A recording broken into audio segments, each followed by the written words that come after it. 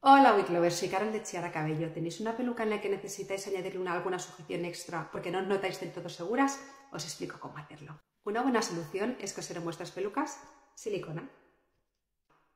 La silicona tiene dos partes. Una parte lisa, que la dejaréis hacia fuera de vuestra peluca si queréis utilizar algún adhesivo extra, como puede ser un pegamento, una cinta doble cara. Y una parte rugosa, que para mí es la más interesante, que es la que viene donde viene el papelito en el que directamente la silicona se, quedará pegada a la piel sin ningún tipo de adhesivo. Normalmente se coloca en la patilla y en la zona de la nuca. Entonces lo que tenéis que hacer es, recortar la silicona de la forma de vuestras patillas y de vuestra nuca y coser con un hilo normal.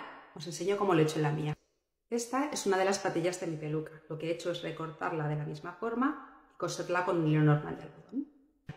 Y de igual forma lo he hecho en la zona de la nuca, debajo de donde se ajusta la peluca. Aquí es donde se ajusta, se tira y se ajusta y debajo justamente le he puesto la tira.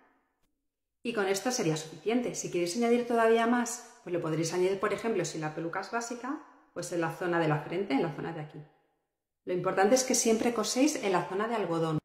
Nunca, nunca, nunca se puede coser en las zonas de monofilamento en las zonas del front, porque por aquí y por aquí, si lo coséis, se puede rajar la peluca. Tener en cuenta que al final la tira de silicona no es transpirable, entonces no es bueno llenar toda la cabeza porque eso no transpira, se os va a quedar la peluca bien fija, pero os va a dar calor, no va a transpirar, vais a empezar a sudar, entonces no es necesario. Yo aconsejo en la zona de las patillas, como os he dicho, y en la zona de la nuca. Y si queréis algo más, pues podéis añadir una pequeña tira en la parte de la frente si no tiene lace front, o un poco más atrás si es una parte de algodón.